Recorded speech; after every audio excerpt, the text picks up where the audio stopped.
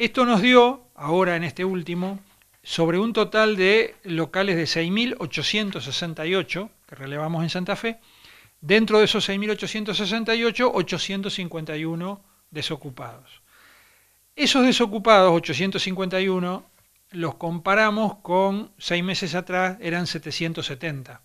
Entonces, el incremento de locales desocupados entre 770 y 851 es un 10%.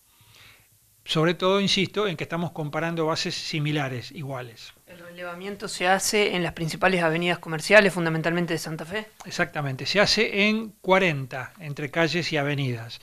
las calles del microcentro, por supuesto empezando por la peatonal San Martín, las avenidas comerciales y em, las transversales todas desde General López hasta Boulevard. O sea que es, una, es un relevamiento bastante completo. ¿En cuáles de estas arterias se ha notado la mayor cantidad de locales desocupados? Bueno, en valores absolutos siempre eh, las calles que tienen más cantidad de locales desocupados son las calles más eh, este, pobladas de locales justamente, que es Aristóbulo del Valle. Aristóbulo del Valle tiene 85 locales desocupados. No obstante, esos 85 representan un 11% del total de locales.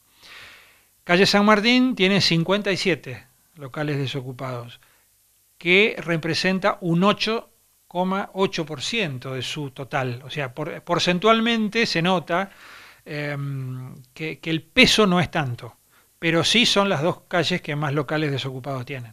Si usted tiene que arriesgar, ¿a qué puede atribuir este aumento que hubo? Bueno, hemos notado, después nosotros hicimos dentro de los análisis, hicimos algunos análisis que son eh, qué calles tienen más desocupados y qué calles tienen menos, comparado con el último, el de seis meses atrás. Como si fuera calles este, ganadoras y perdedoras, digamos, en, este, en esta comparación. Bueno, las calles que más han sufrido la desocupación de locales eh, han sido las avenidas grandes, caso eh, Blas Parera, Aristóbulo del Valle, Facundo Subiría. Eso han sufrido la mayor cantidad de desocupación.